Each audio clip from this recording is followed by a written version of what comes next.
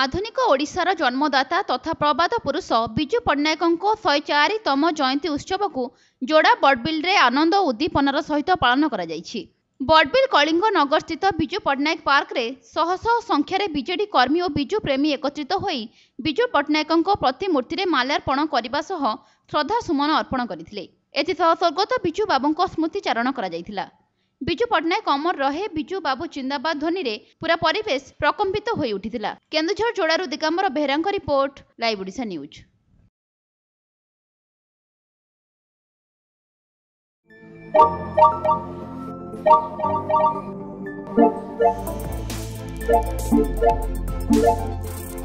Thank you.